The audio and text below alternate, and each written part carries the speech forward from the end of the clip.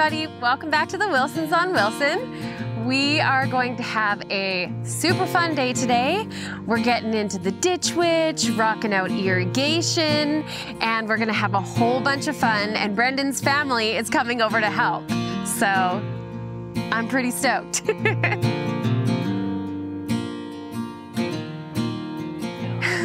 Look at she's throwing weeds onto our beautiful. I'm sorry. He. Okay. So the first thing we're gonna tackle here is basically getting the plants out of our way that we have to. Our irrigation is gonna come along here. There's a couple big trees. So we know that they're gonna have large roots that are coming out and we don't really wanna battle with that. So the first thing we're gonna do here is just dig up all of these little bitties that we planted last year so that we can have a clear shot to head out that way and irrigate the rest of our jazz.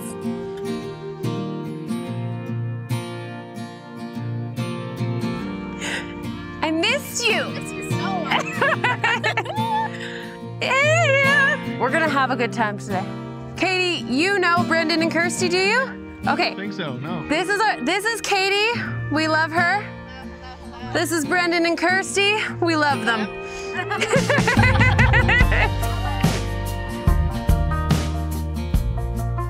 we're gonna have a big fire today too, so we're gonna burn all the brush and stuff that we've got going from pruning all these trees. And what?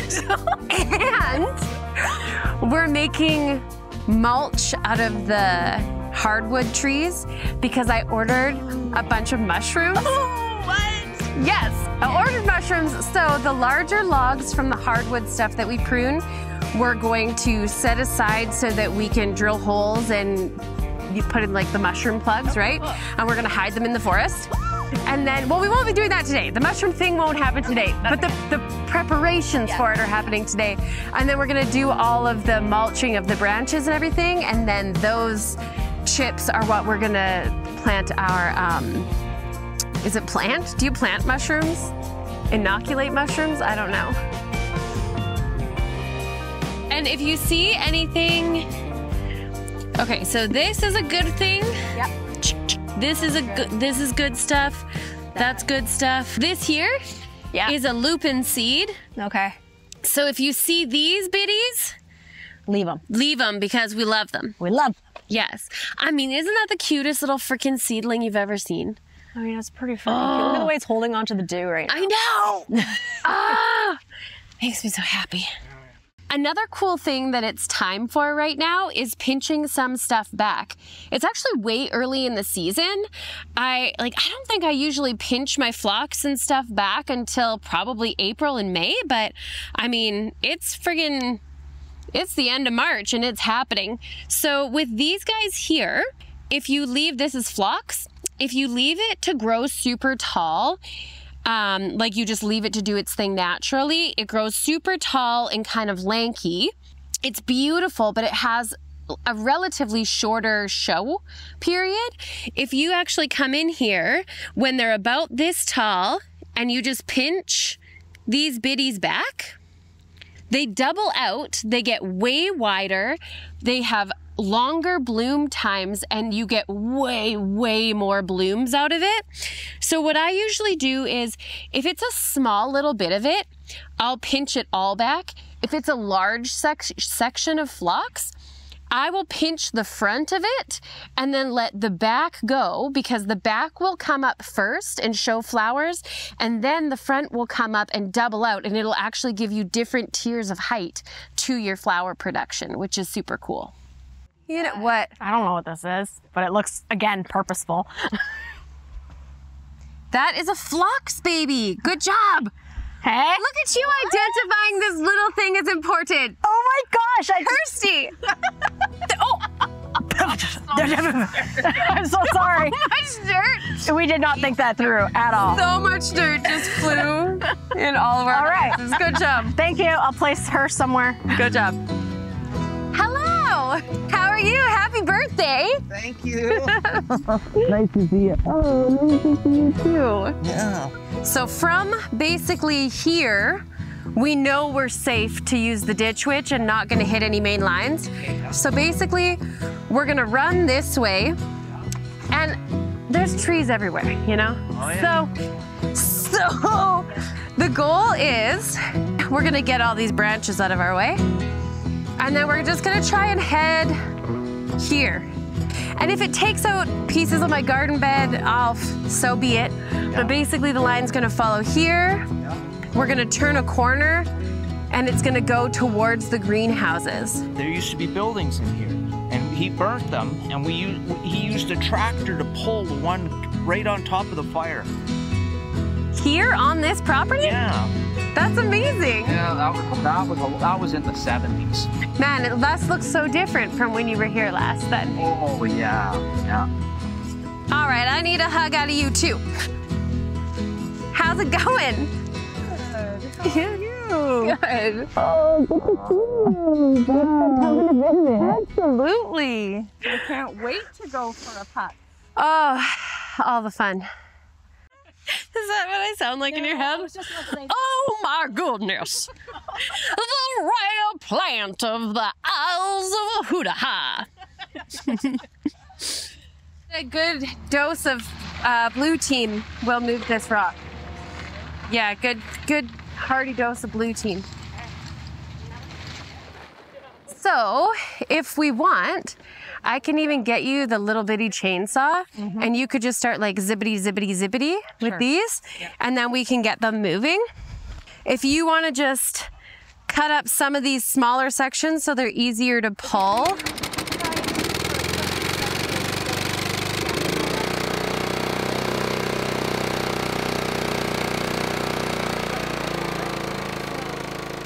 Now that we here, we need to move this rock Where do you want it? out of the Just way. out of the way?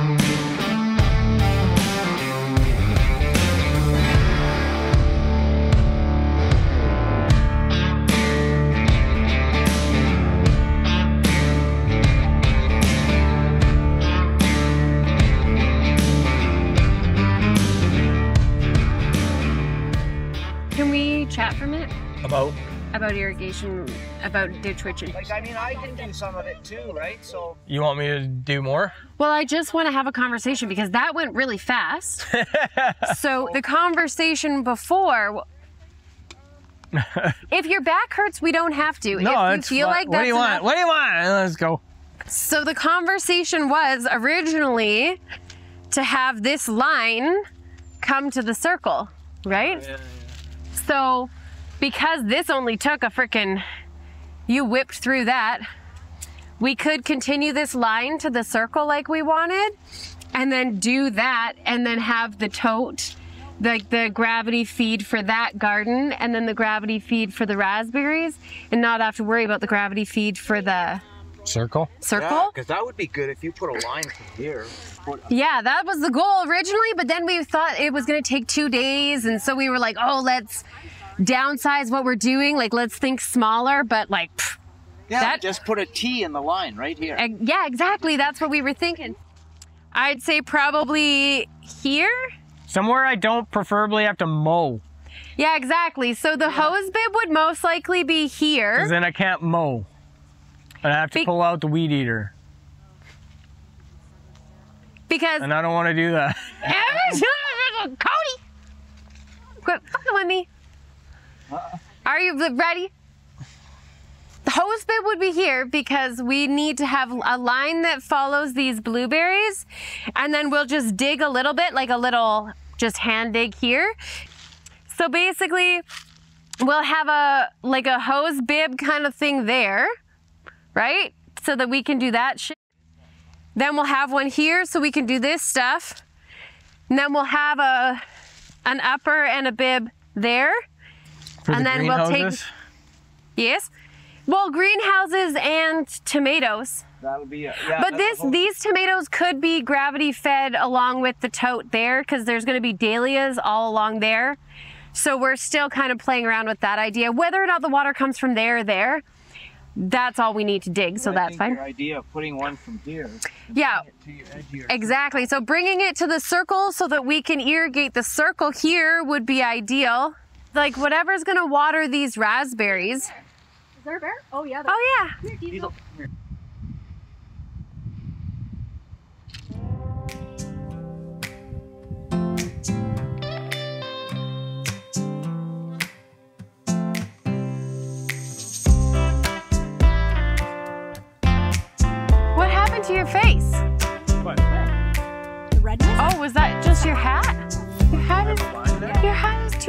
Tight.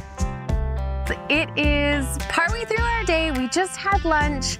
And now we're gonna finish our ditch witching. We have an amazing crew here today, so I think we're gonna get tons accomplished. We're gonna get to it, and uh, let's see what we get up to.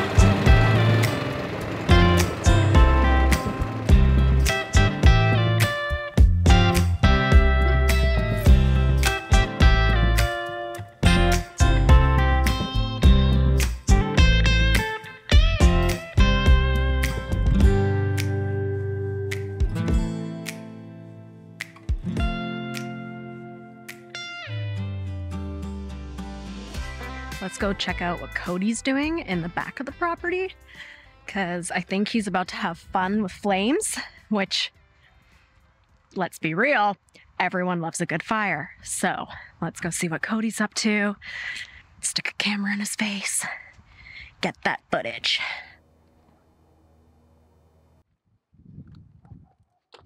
How long have you been wanting to burn this pile for? For a while, a few weeks. Definitely a few weeks. I'm glad we waited though because there's a bunch of stuff that needed to come into it anyway. There's a bunch of stuff over there that's gonna come over here. Trees that we took down and limbed, I guess. Yeah. I'm gonna move that truck.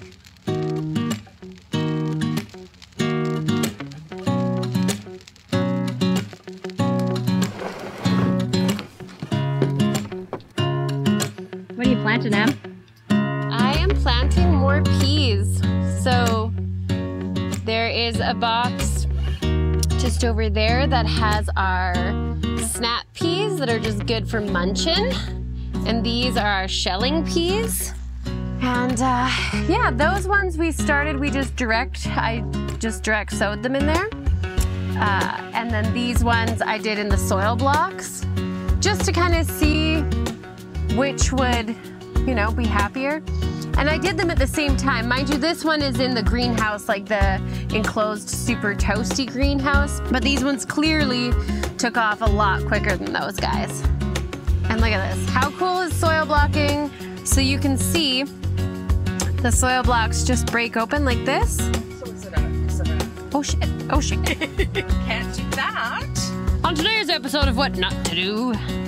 So is it is it the way you plant them? Like I'm, I'm not quite understanding how you get that square. Like is it a So I can show you uh, when we, if we want to go check it out in the barn after.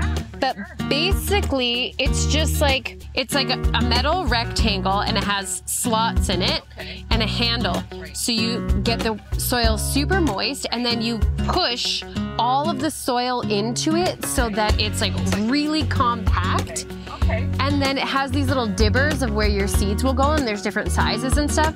And then you push it into the tray and you pull the trigger. And when you pull the trigger, it's compacting that soil even more. And then you just pull up. And it leaves you these perfect blocks of soil. And they stay like that Yes. while they're growing. Yes, And and- then, it, of course, there's all your moisture and everything. Exactly. So it's not like tiny little cells that dry out. Like sometimes those 72 cell trays, Yes. I have to water them multiple times a day. Yeah. It's a headache. Yeah. It's an absolute headache. This makes more sense. And so this here, it's like sometimes I don't even have to like every couple days I would have to water this tray.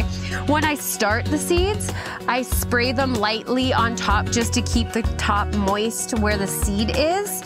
But then after that, it's like you barely have to water them in comparison. So it cuts down on water usage, cuts down on plastic usage, and it air prunes the roots and allows it to kind of like grow in a different way. Whereas with those cells, the roots can get bound up and tight so fast. Yeah.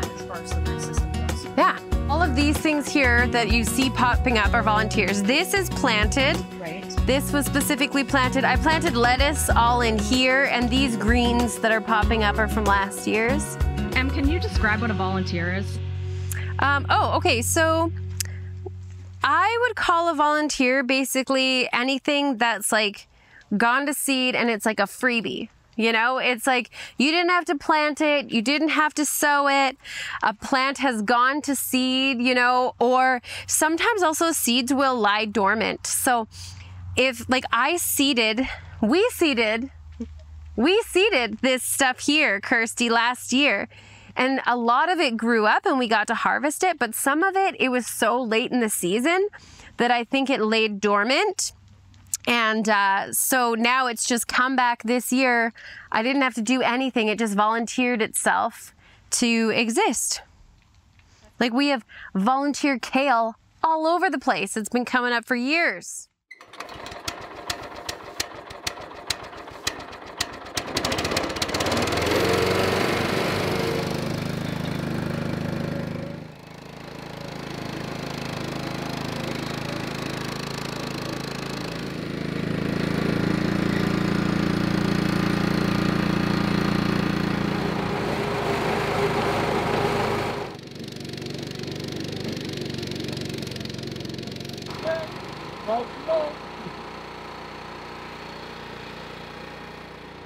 So I think that's it for the day. Um, God, we got so much done and it was so beautiful.